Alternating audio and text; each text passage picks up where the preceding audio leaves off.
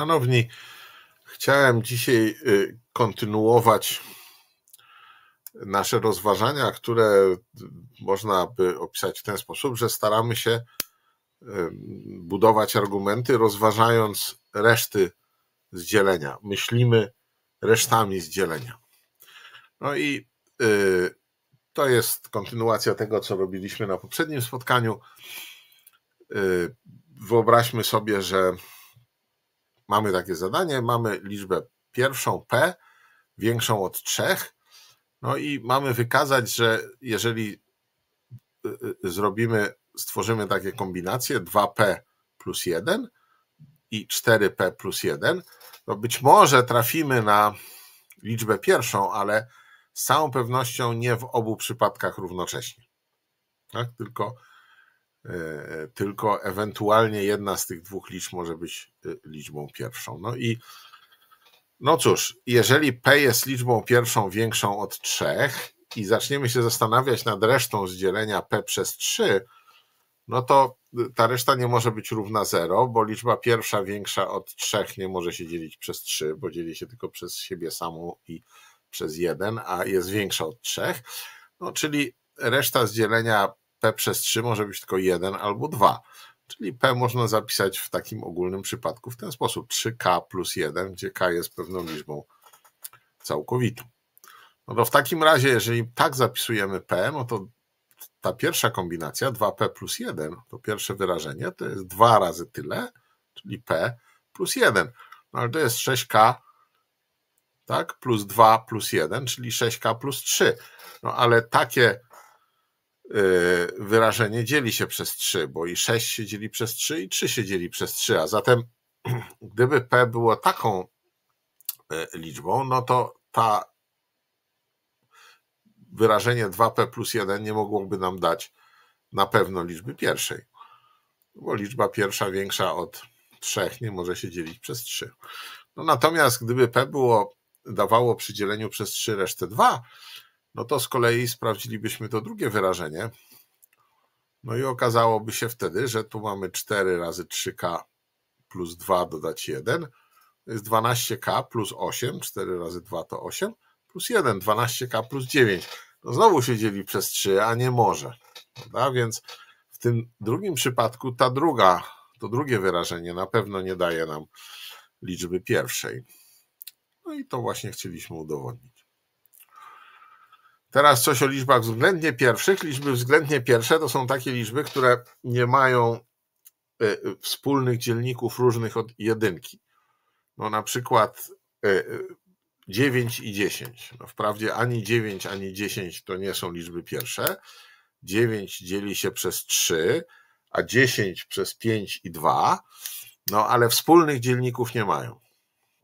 No między innymi dlatego, że są to dwie kolejne liczby całkowite, a dwie kolejne liczby całkowite nie mogą mieć innego wspólnego dzielnika niż jeden, no bo pamiętacie ten argument, no, że jeżeli mamy na osi liczbowej na przykład liczbę podzielną przez dwa, no to one są co dwa, tak?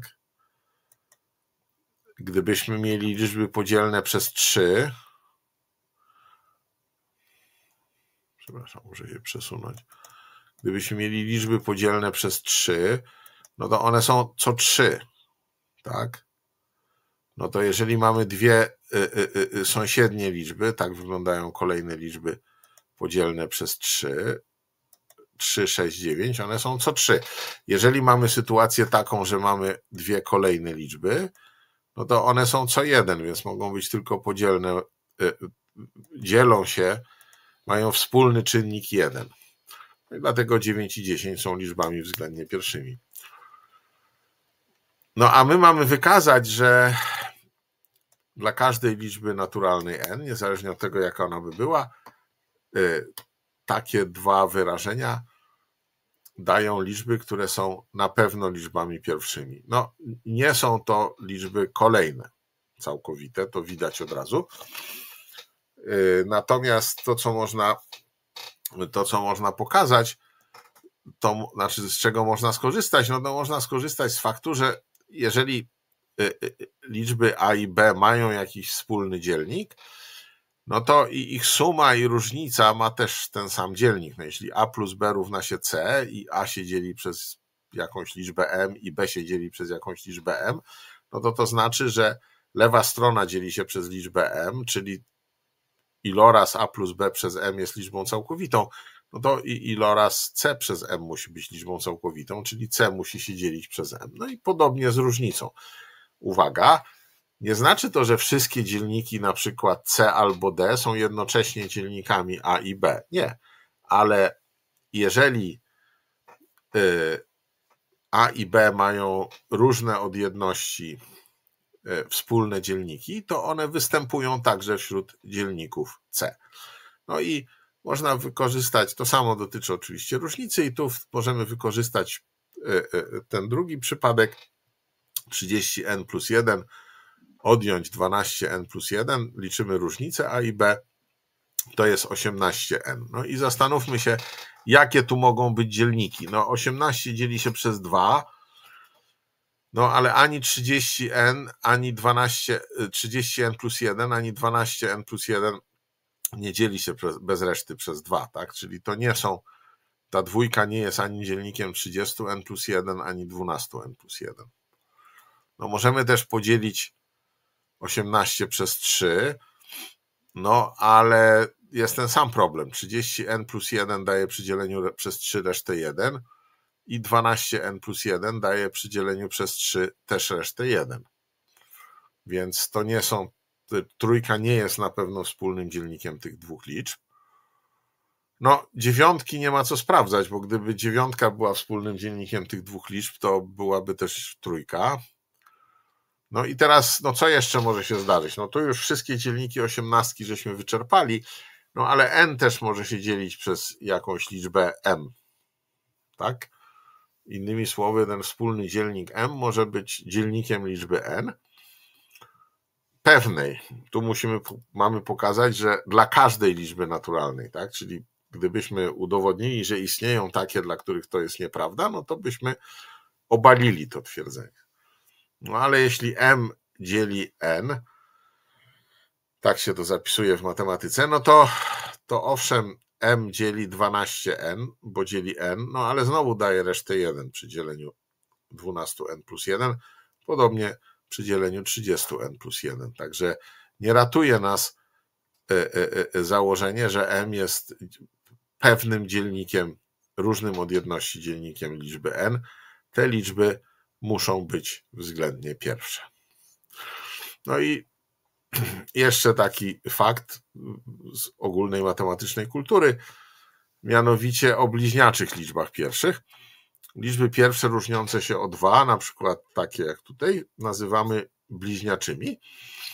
No i jeżeli mamy taki parę bliźniaczych liczb pierwszych, z których y, p jest większe od trzech, czyli ta pierwsza para nie wchodzi w grę, to suma obu tych liczb jest podzielna przez 12. To mamy udowodnić. No, widać, że potrzebne jest założenie, że p jest większe od 3, bo 3 plus 5 to jest 8 i to się nie dzieli przez 12, no ale 5 i 7 to już się dzieli, to jest 12, 11 i 13 to jest 24, 17 i 19 to jest 36 i wszystkie te sumy dzielą się przez 12. No więc to, co będziemy chcieli y, y, y, pokazać, to to, że ta suma ma, że czwórka jest dzielnikiem tej sumy i trójka jest dzielnikiem tej sumy. No więc w takim razie ich iloczyn też jest dzielnikiem, a 4 razy 3 to jest 12. No dobrze, no to wyobraźmy sobie, że mamy y, dwie liczby y, większe od trzech, no bo ta mniejsza z nich musi być większa od trzech, no to są to dwie liczby nieparzyste. Więc y, y, y, P można zapisać jako 2K minus 1, a Q, który jest równe, która jest równa P plus 2, to jest 2K plus 1. No, ich suma ewidentnie to jest 4K. No, stąd wynika, że tu coś się pokićkało w, tym, w tych zapisach. Nie wiem dlaczego dwa razy tak to jest napisane. Mhm. Stąd wynika, że czwórka dzieli ewidentnie tę sumę, tak? No bo czwórka dzieli 4K. No, a jak pokazać, że trójka dzieli też tę sumę? No, trójka nie dzieli czwórki, więc trójka musielibyśmy pokazać dzieli k.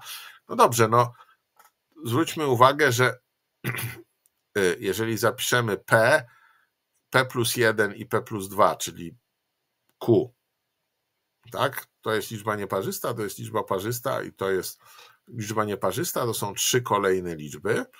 Napiszemy je jako 2k minus 1, 2k i 2k plus 1. No to ponieważ są trzy kolejne liczby, no to któraś z nich musi się dzielić przez 3. Ale nie może to być ani p, ani q, dlatego że i p i q to są liczby pierwsze większe od 3, więc przez 3 się nie mogą dzielić. No a zatem 2k musi się dzielić przez 3.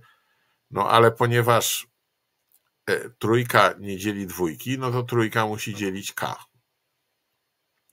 No ale jeśli trójka dzieli k, no to e, w tej sumie równej 4k czwórka jest podzielona przez 4, a trójka jest, a k jest podzielone przez 3, czyli razem ten iloczyn jest podzielny przez 12, no i to tego mieliśmy dokazać.